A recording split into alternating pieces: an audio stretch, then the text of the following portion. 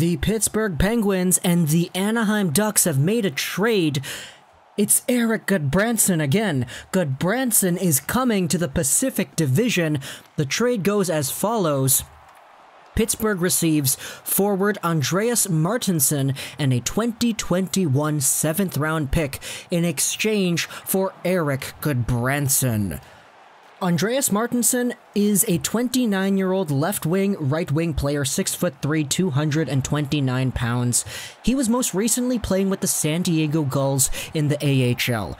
Before that, though, he spent some time with Chicago, he spent some time with Rockford, he was with the Habs and the Avalanche before too, and overall, Martinsen is a guy who has played his fair share of NHL hockey 152 games played, spread throughout a few teams, but in general is primarily defined by most as a guy who's just an AHL borderline NHL talent.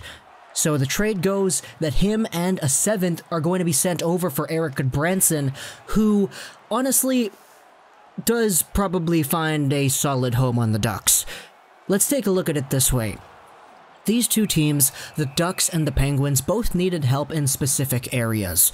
The Ducks were going after defensemen. They were going after Falk. They went after Sbisa, but they lost him on waivers.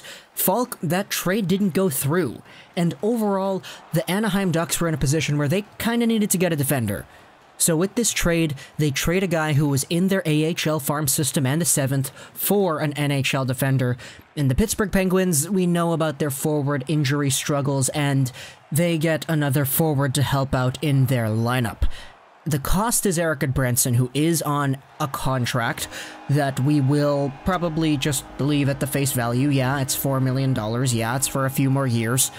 And yeah, Gudbranson was really, really bad with Vancouver but he did become a little bit better with Pittsburgh, I will say. Pittsburgh fans, I've seen, I follow a few of them on Twitter, and a lot of them honestly seem to think that Gudbranson was not terrible. So, having a guy who can competently play at the NHL level, I guess, is good for the Anaheim Ducks than not having a guy like that at all. Because the Ducks needed their defense, the Ducks were going after their defense, the Ducks were losing out on defense, so they finally get a guy now that can help with that defense. Now, is Erik Gudbranson the be all and the end all?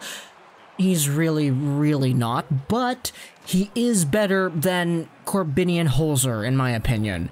So, overall, it's a move that affects both of the teams in a positive way because Martinsen can be an NHL player. He has played in the NHL before. Sure, his numbers aren't amazing in the 152 NHL games played Martinsen has. He only has 23 points, but it's better than nothing for a Pittsburgh forward core that needs the support, right? So for both teams, it's a win-win.